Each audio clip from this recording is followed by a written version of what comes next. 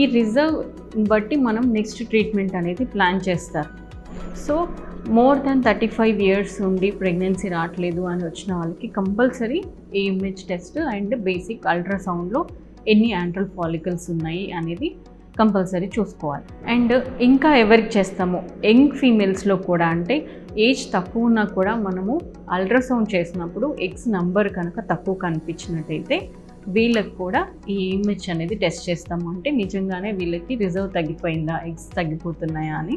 తెలుసుకోవడానికి even young ఫీమేల్స్లో కూడా తక్కువ కనిపించినట్టయితే ఈ బ్లడ్ టెస్ట్ అనేది కంపల్సరీ చూసుకోవాలి